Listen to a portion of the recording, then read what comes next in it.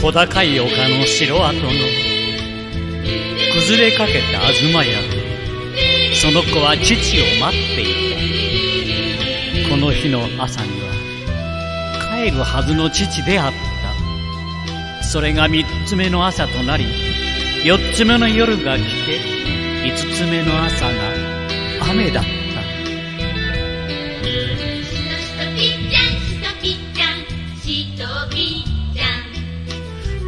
悲しく冷たい雨すだれ。幼い心をいてつかせ。帰らぬちゃんを待っている。ちゃんの仕事は四角ぞな涙隠して人を切る。帰りゃいいが帰らんときゃ。この子も雨ん中骨になる。この子も雨ん中骨になる。ああ大五郎まだ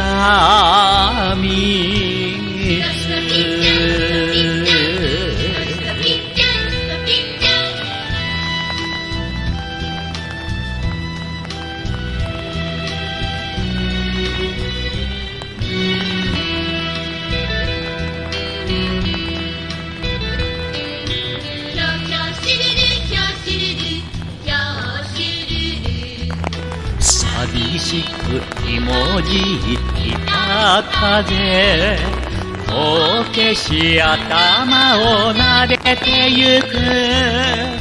帰らぬちゃんは今どこに。ちゃんの仕事は四角ぞな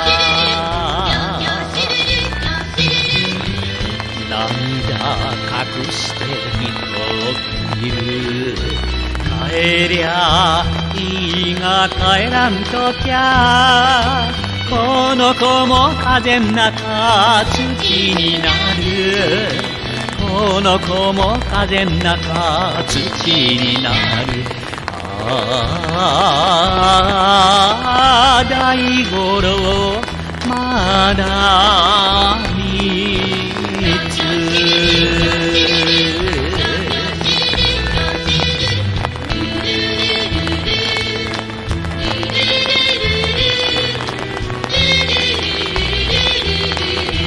六つ目の朝霜が降りた季節の変わり目を告げる別れ霜が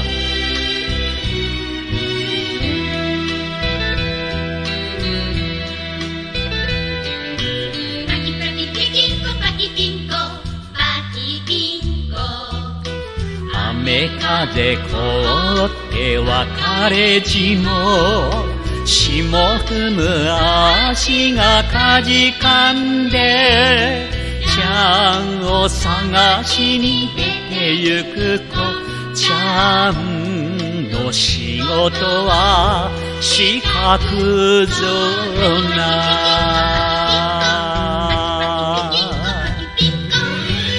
涙隠して人を切る。帰りゃいいが帰らんときゃこの子も霜ん中凍え死ぬこの子も霜ん中凍え死ぬ。あ